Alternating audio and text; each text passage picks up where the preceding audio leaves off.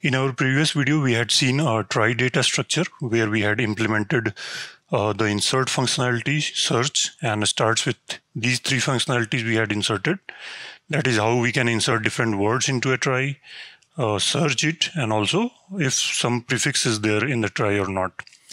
Uh, then I realized that I had not given enough examples there. The main goal there was to have some brief understanding of this trie data structure. And uh, with that uh, brief understanding and some limited examples, uh, we started coding and we had implemented that in C++, Java, and Python.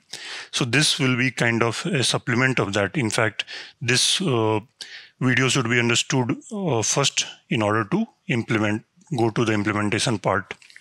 So let's see some more examples of it. And this will be only focused on examples so that you have good understanding of prefix data structure.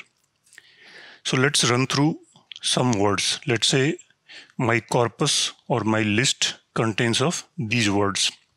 And uh, in future, I would like to uh, search on exact words and prefix in these words. And we want to insert all of them in a trie. So how we will do that? So let's limit our uh, case to small letter English alphabets, that is small a to small g. So total 26 characters only. This makes the understanding easier. So first we have to insert 2. So this is our first word. So currently trie is empty. So nothing is there. This is the root node. Uh, it has 26 pointers, just like a binary tree will have left and right pointers which themselves are node. If this structure is node, it has two more pointers to node, which are left and right node. But these can be null also. This is also a binary tree. Although it does not have two uh, children, it can have maximum two children. Similarly here, uh, not all 26 uh, child will be present, children will be present. Uh, only the characters which come in the first character, first letter they will be present here at the first level. So you see T is there a few times, then I is there, C is there. So T, I and C, these three children will be non-null. So we want to insert 2, so we will see that whether T children is null or null. So T is null initially because not, we have not inserted it. So we'll create a node for T. So this node denotes T the next letter is O. So at this node, we are now here. We will see whether O is null or not. So every node will have pointer to 26 node. First will denote A, second will denote B, and the last one will denote Z. So here T was not present, it was null, so we created a new trie node for T then next we go to O. Again we look at O that is 15th child. 15th child is null so we create a 15th child a new trie node and this denotes O. Now we have reached the end of word. So we add an additional flag here. Let's say I denote this as the end of word and this normal as a normal trie node, which is somewhere in the middle. So it can be uh, end of word for some word, but it can be middle word for some other word. Let's say TO, here O is the end of word for two, but if we want to insert T-O-N-E, so we will follow this same path. We will come here, we will see that T is already present. So we will go here, next is O, we will check O is present or not. O is already present, so we come here. Next is N. We will see if N is present or not. No. So we will create one. So let's add TUNE also here. So uh, we create one node for N. The next is E. E is also not here. We will create a new node and assign it to fifth child. Fifth is the E. And now mark it as end of word. So you see here O is end of word. That means some word has ended here also. So TO is a word, valid word. And you can see that it's a word here. And TONE is also valid. Here E denotes end of word. So we have inserted TO and TONE. Next, let's insert T. So we see T is there or not. T is there, yes. Next letter is E. E is not there. So we create one node for E. Then A. So first child will be A. Create A and mark it as end of word. So TA is done. Then T E D. This is TED. So TED is also done. Then 10. So T is there, E is there, N is not there. So let's create one more and it's 10.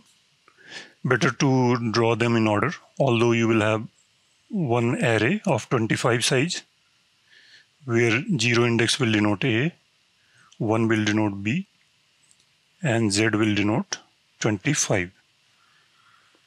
And uh, if the number of characters are large, instead of having a fixed size array, you will have a hash map where whenever you encounter a new word, new letter, you insert it into it. So initially it was empty. You found T. You found a few words starting with T. So you inserted T here and a pointer to the trie node this this this node. So this again will have uh, TO. So it will have entries for O and a hash map and, and a pointer to node and also E and another trie node pointer and this in turn will keep on doing. So here we are just using fixed size 25 children. Now we have inserted till 10. Next is I. So we check if I is there or not. I is not there so we create one. So this node denotes I and this is just single letter word. So this itself is end of word. Then we want to insert in. So i is there already, n is not there. So we create one node for n and mark it as end of word. Next we insert i double n. i is there, n is there. Next n is not there here. So we create one more node. This denotes i n n. Then we have cat. So c is not there here at the root. c child is null. So we create one a is not there, create one. T is not there, so we create it and mark it as end of word. Then cab, C is there, A is there, B is not there, so create one. Camera, C is there, A is there, M is not there. So create one for M. Then next is E, R A and this is end of word. Now we have inserted all of these words in a trie. So now we will no longer need to look at these individual words. If any search is to be performed, it will be performed on this trie. Now it's time to look at the search process. We have done with insert. Insert is done. Next, search. And next starts with, that is prefix search. So search searches for exact word and starts with searches for prefix also. Let's say cam is not there. Cam is not a word, but if I search, does any word start with cam, then we will return true. But if we say, does cam exist, then we will say no. So let's see the search process. So let's say I want to search uh, cat. Uh, so we see, uh, we come to the root, we start with the root. We see whether its third child is null or not. So we see third is not null since C is the third letter in the English alphabet. So C is there. Next we see whether, next we come here and we see A is there or not as its child. So we see that A is there. So we come here. Next we find T is there or not. So again we come here and we find cat. So this node denotes cat. This is end of word. Similarly, this node denotes cab. So each end of word will denote a word. This denotes I, this denote IN, this denote INN. Uh, now let's search some other word. Let's say I want to search 10. So we come here at the root, we see whether t is null or not. T is not null, so it's fine. We go to the next. Here we see e is there or not. So we find a node corresponding to e. We come here, then we see n is there or not, and we again find n also. And then we check whether this is end of the word or not, since we have reached the end of word for search term. So we also check if this node is end of word or not. So we see it is, so we return true. Uh, now let's search something which is not there. Let's say I want to search uh, class. So we see, we come to the root, we find whether C is present or not. So C is present, so that's fine. We come here now we go to the next letter. We see whether L is present or not. So, so the node corresponding to L, the pointer corresponding to L node is null. Initially all 26 are null. While inserting, we were inserting them on need basis. So L is null. So we stop here and we return false. And let's say I want to search whether cabs is present or not. So we see C is not null. So we come here. A is not null. We come here. B is not null. We come here. So we are here. Then uh, we see that S. So we here look for S, whether this S node is there or not. So it's null. So we return false. Similarly, uh, let's say I want to search 2 or uh, let's say I want to search TE. So I see T is here, E is here. We have reached end here. So we, we are here and we check whether this is end of word or not. This is not end of word. That means this word has not occurred in the dictionary on which we have inserted it. So we return false, although we found TE. But if I say if some word starts with TE, then we will return true. So we come here, we found it. E also we found. We don't need to check end of word and return true. So this should give you some idea about tree data structure if you are not already aware.